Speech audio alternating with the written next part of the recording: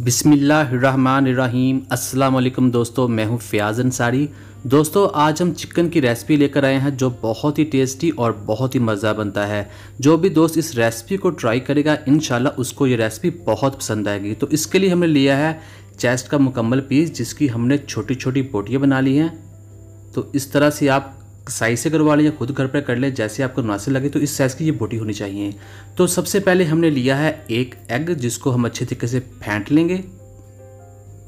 और इसको हमने चिकन के ऊपर डाल देना है। बिस्मिल्लाह रहीम तो ये रेसिपी इंशाल्लाह आपको बहुत पसंद आएगी। आपने पूरी वीडियो को लाजमी देखना है।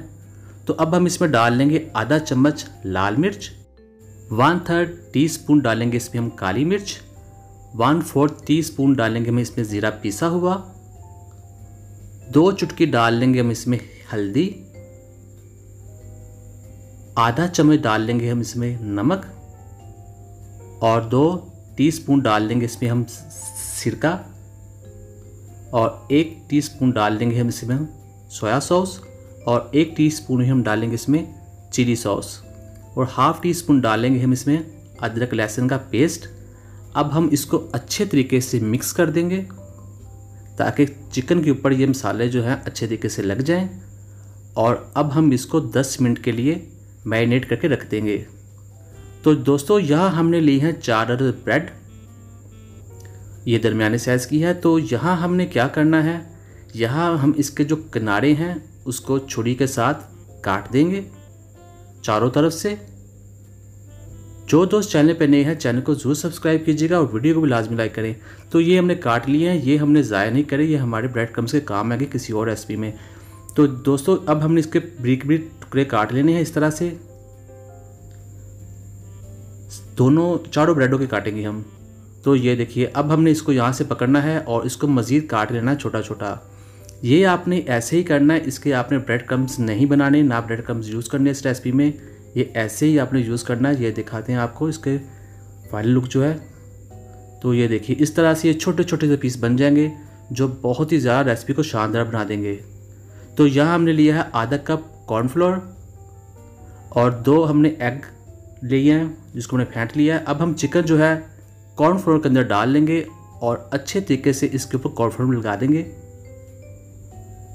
चैनल पर नहीं है चैनल को ज़रूर सब्सक्राइब कीजिएगा, वीडियो अच्छी लगी, वीडियो को लाइक कीजिएगा।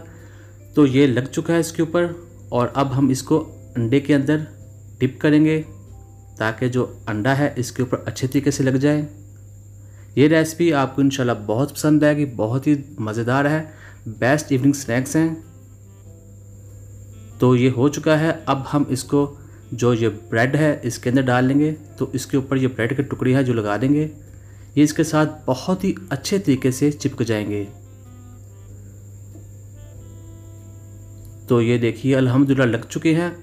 तो इसी तरह हम बाकी जो चिकन है, उसको भी लगा लेंगे।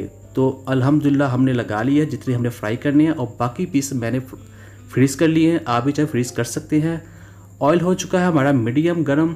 आपने इस ऑयल ज़्यादा गर्म नहीं करना। अगर ऑयल ज़्यादा गर्म करेंगे तो ये जो ब्रेड लगी हुई है, ये बहुत जल्दी चल जाएगी। इसका कलर डार्क हो जाएगा और जो हमारा चिकन है, वो अंदर से कच्चा रह जाएगा।